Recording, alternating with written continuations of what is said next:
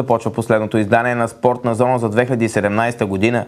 В това предаване ще видите кой спечели класацията за най-успешен състезател на спортното училище. Подготвили сме и още репортажи за случващото се с местните състезатели и клубове. Останете с нас. Пете Делчева отново номер едно в спортното училище. В драматичен матч Марек спечели срещу Арда с 3 на 2 гейма. Девойките на хандбалнет Хасково втори на Купа България. Съвсем очаквано Пете Делчева бе избрана за спортист номер едно на спортното училище в Хасково. За треньор пък бе избран нейният личен наставник Петю Кирев. Ханбалистките на Хасково грабнаха наградата за отбор на годината. За поредна година ръководството на спортното училище в Хасково награди най-заслужилите си състезатели. Церемонията се проведе в голямата зала на Младежкия център. Празникът бе уважено представители на държавната и местна власт, президенти на местни спортни клубове, началника на регионалното управление по образованието, както и бивши възпитаници на училището. Церемонията по награждаването стартира с обявяването на 10 най-добри състезатели. На 10-то място бе класирана лекоатлетистката Йорданка Стоянова. Девета бе състезателката по борба Весела Бръмчева. Едно място пред Весела бе нейният брат Борислав. Състезателят по борба класически стил за поредна година попадна в класацията. На седма позиция в подреждането бе Християна Петрова. Наградата си хамбалистката получи от своя треньор Ирина Меладинова.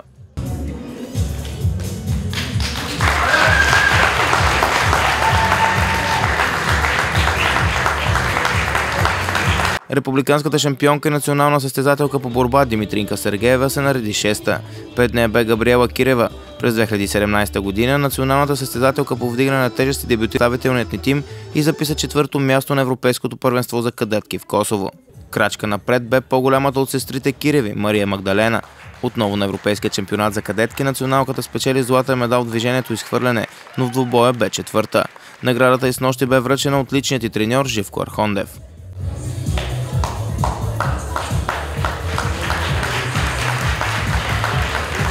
Бронзовият медалист от Европейското първенство по борба в свободен стил Мерт Мурат бе трети в класацията на спортното училище. На втора позиция пък бе републиканска чемпион по бокс и сребърен медалист от Европейското първенство за юноши Емирджан Мехмет.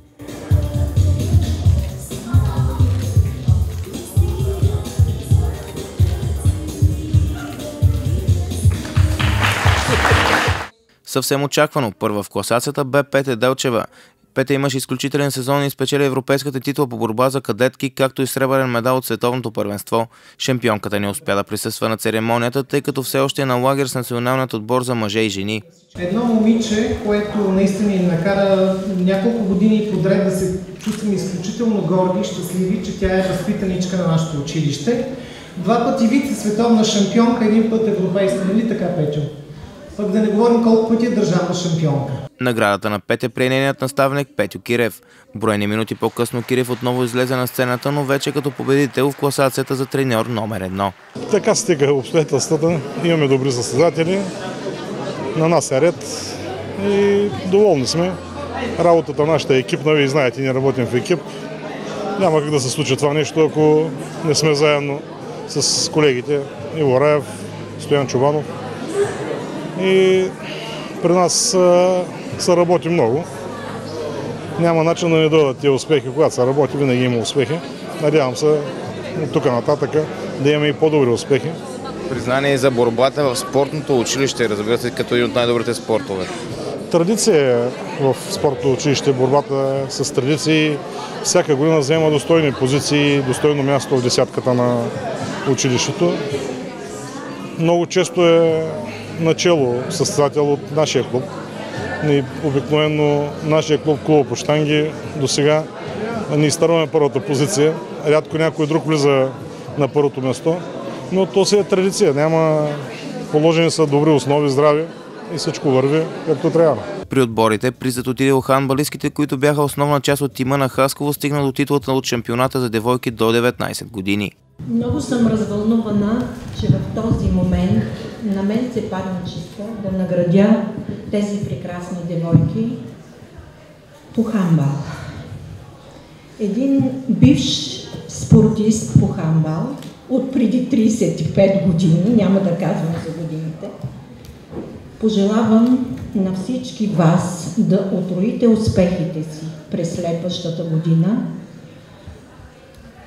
Много се радвам, че отново хамбалът в Хасково е номер едно. Пожелавам не само на клуба по хамбал, а на всички спортисти много успехи, весела коледа, щастлива нова година. Нека успехите ни наистина се отроят. Повечето състезателки са от спортното училище, тренират дворазово. Това може би също оказва голямо значение. И се надявам все така да продължим съвместно с спортното училище, да успеем да подготвим все повече шампиони. В тържеството на спортното училище се включиха състезатели на купо гимнастически спортове юнак и танцорите от фулкорен ансамбъл Южняче. Наградите за призорите бяха осигурени от ръководството на училището и спонсори. От Куба по борба също наградиха своите възпитаници, попаднали в десятката.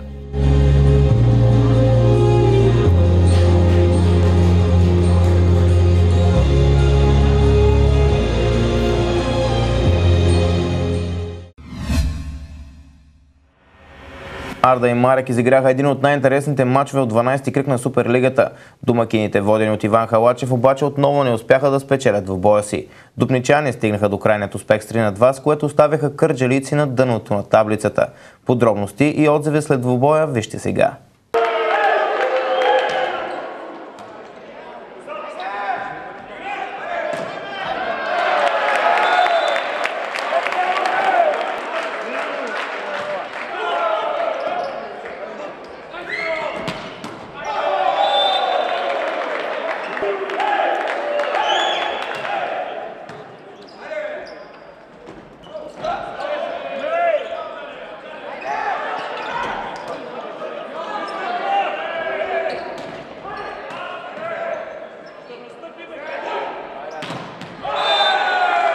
Отборите на Арда и Марек се срещнаха в матч от 12-ти кръг на мъжката волейболна Суперлига. Матчът в зала Арпезо се очакваше с голям интерес от местната публика. Кърджалици се надяваха на първи успех през сезона и отбора на Марек се виждаше като преодолим. Началото на матча обаче разочарова домакините. Дупничани стартираха силно и повероха след 25 на 17. Във вторият гейм гостите отново имаха предимство и повероха с 2 на 0 след 25 на 20.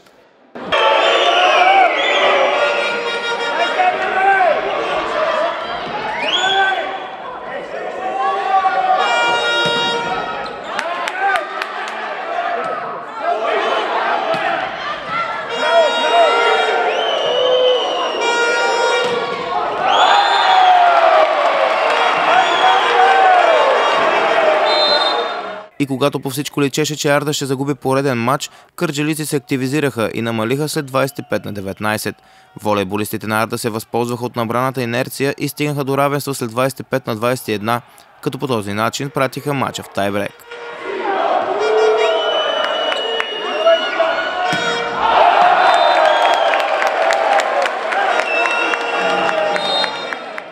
В решителната пета част Арда имаше аванс, гостите обаче обърнаха резултата и стигнаха до крайният успех след 18 на 16.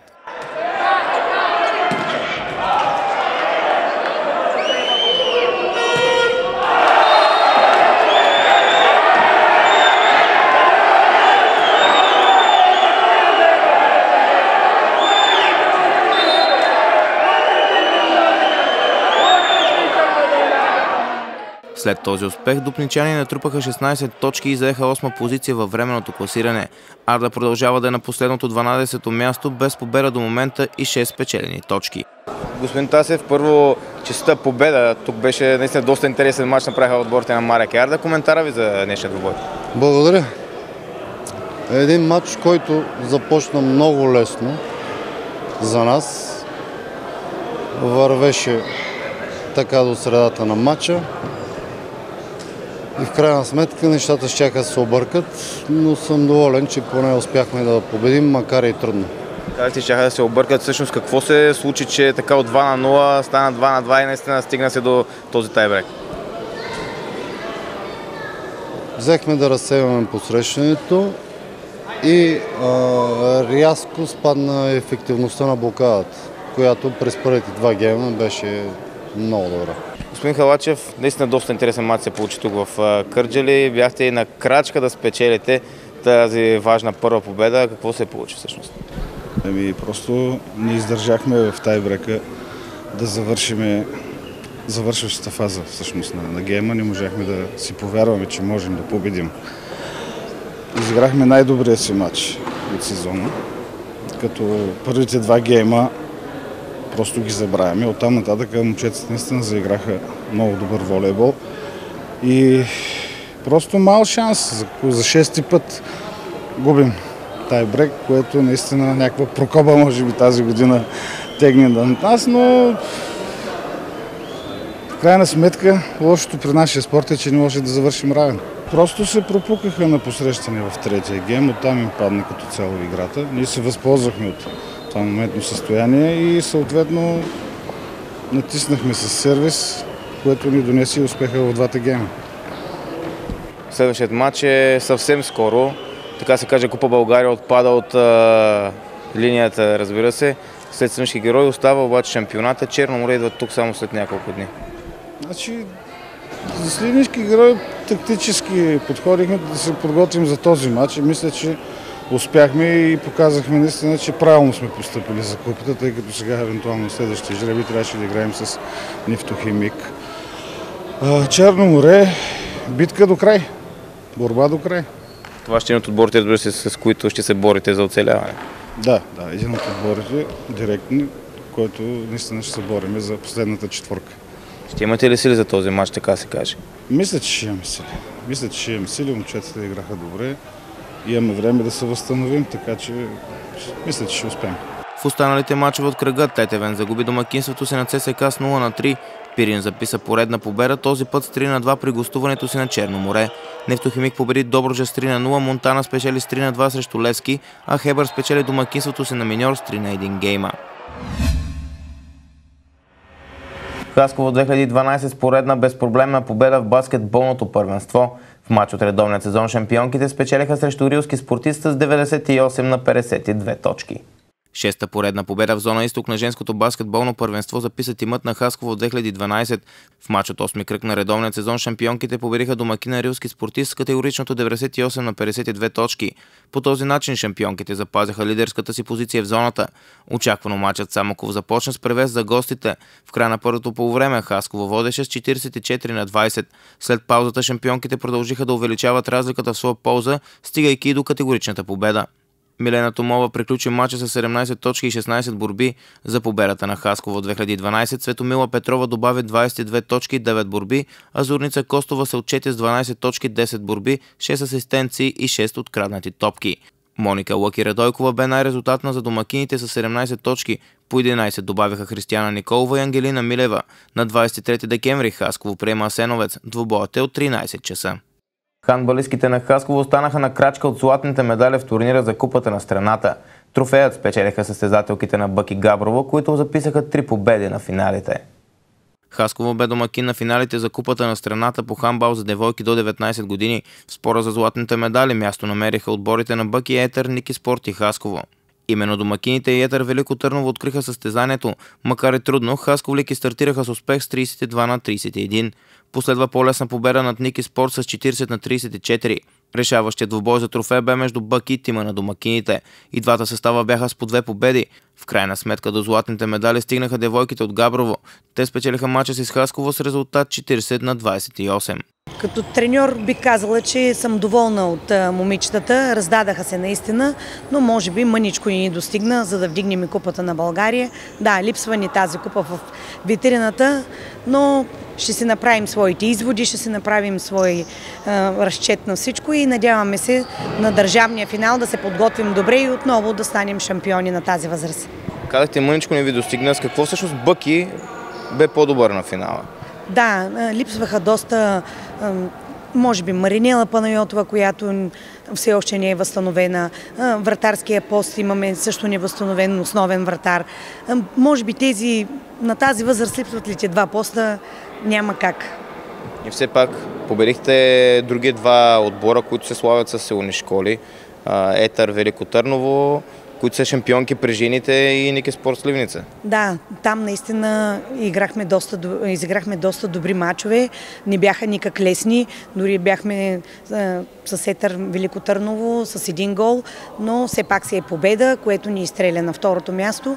Ами, това е, ще продължаваме да тренираме и надяваме се и Бъки Габрово вече да победим. Хандбалистките на Етър Велико Търново останаха трети с актив от една победа и две загуби, на четвърто място завършиха състезателките на Ники Спорт Сливница.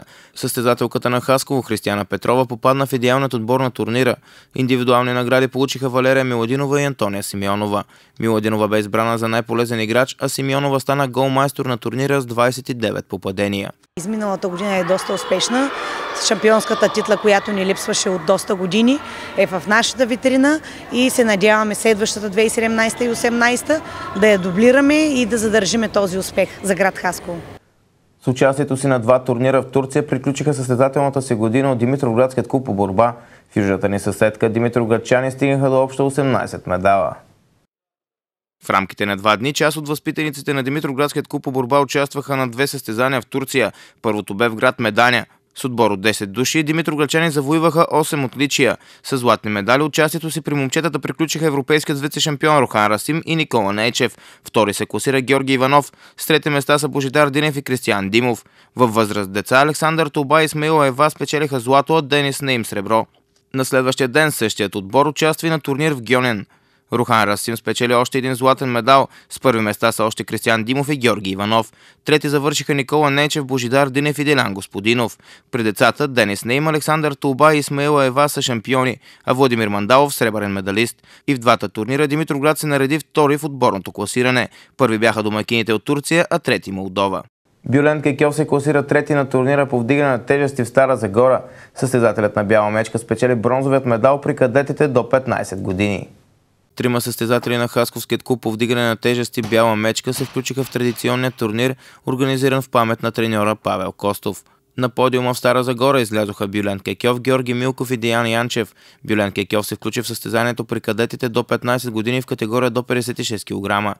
Хасковлята показа добри резултати и се класира трети по системата Синклер. По този начин Кекьов донесе единственият медал за Хасково от състезанието в Стара Загора. При кадетите до 17 години в категория до 62 кг Георги Милков също се представи на ниво и завърши на четвърто място. Старши треньорът на Бяла мечка Живко Архондев остана доволен от най-младият си състезател Деян Янчев. Във второто си състезание Янчев записа 6 успешни опита – Макар и да не се класира в тройката, Хасковлята остави добри впечатления с резултатите си. Турнирът Стара Загора бе последен за състезателите на Хасково за календарната 2017 година. Както вече съобщихме, през 2018 местният куп отново ще приеме кръг от държавният календар. Хасково ще бъде домакин на личното първенство за всички възрасти.